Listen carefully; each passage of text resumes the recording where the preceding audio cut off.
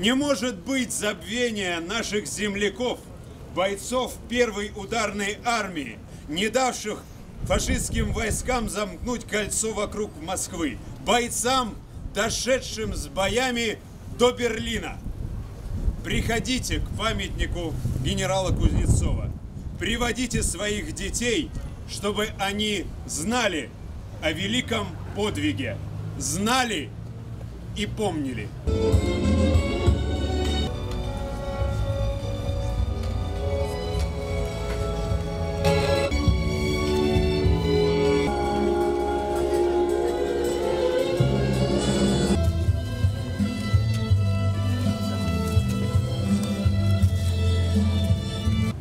С праздником!